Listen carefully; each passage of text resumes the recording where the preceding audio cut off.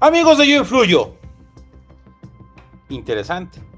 El Poder Judicial ofreció una manzana importante, no solamente a Claudia Sheinbaum, a Morena, sino en realidad a todo el aparato de la Cuarta Transformación.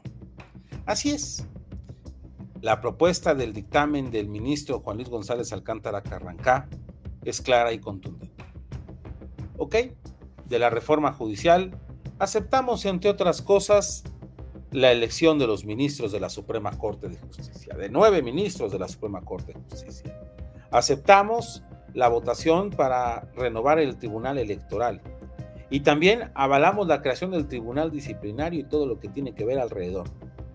En otras palabras, aceptamos la parte de los principales cargos, los chonchos, como dirían los clásicos, acerca de el Poder Judicial. No aceptamos la votación de jueces y magistrados. ¿Por qué esos no? Porque son muchos, es complicado, hay una carrera del Poder Judicial que lo avala.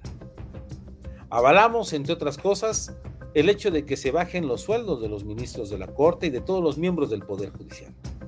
Aceptamos que ha habido un abuso en ese sentido, es lo que plantea el ministro Alcántara Y además, sobre la bandeja de plata que se le pone al gobierno, se encuentra la renuncia de los ministros de la Corte que no comparten nada con la cuarta transformación. Es decir, solamente tres ministras, las tres ministras que se dicen seguidoras del gobierno actual, Loreta, Loreta Ortiz, Yasmín Esquivel y Lenia Batres, van a competir por un cargo.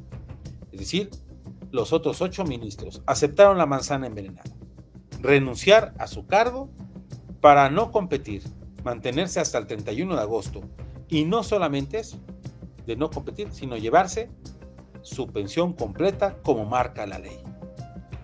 Esto estaba planteado en la propia reforma del Poder Judicial. Y es increíble que el propio Morena, bueno, no es increíble, es parte del juego. Tanto Morena en el Senado, en diputados, como la presidenta Claudia Sheinbaum han dicho que, ya ven, el abuso de estos señores de la Corte que se quieren ir con su jubilación completa ellos habían ofrecido esa manzana envenenada, pero ahora la manzana viene al revés.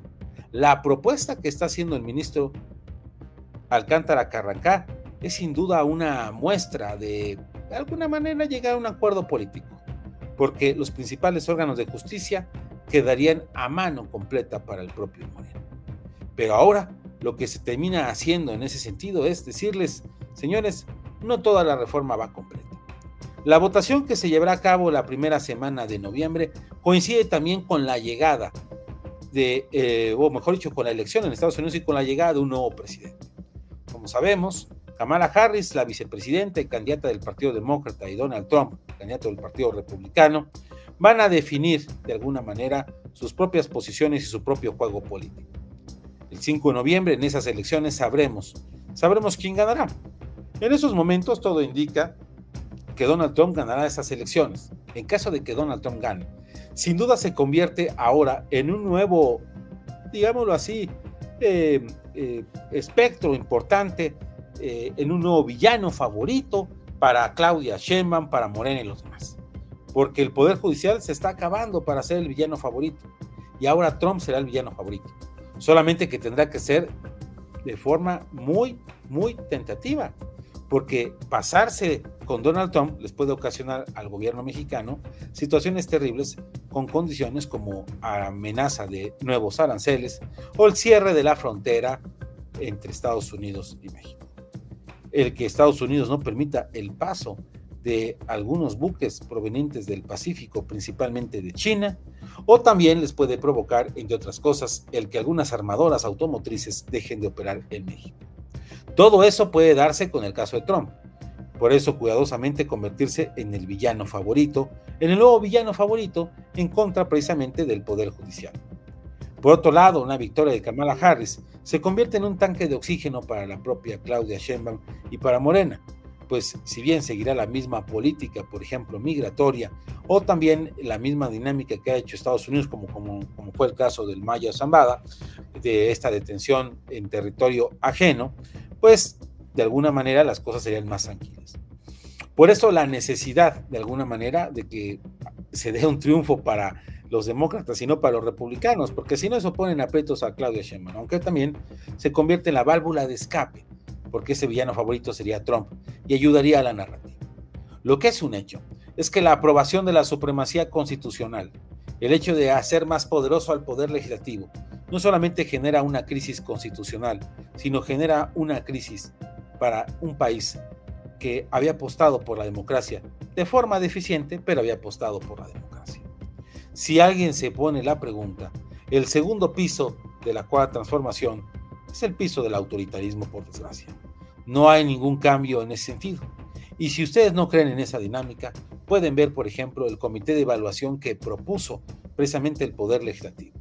Gente cercana a Dan Augusto, a Ricardo Monreal, a Yasmín Esquivel, a Guadalupe Tadei.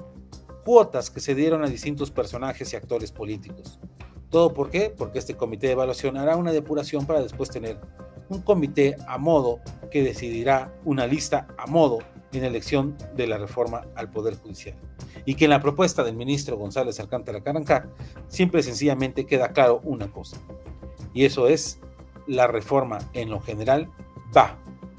Sí, vamos a terminar eligiendo a los ministros de la Corte. Tal vez a los jueces no. Ahí está la manzana que se ofrece a Morena y al gobierno. ¿La aceptará?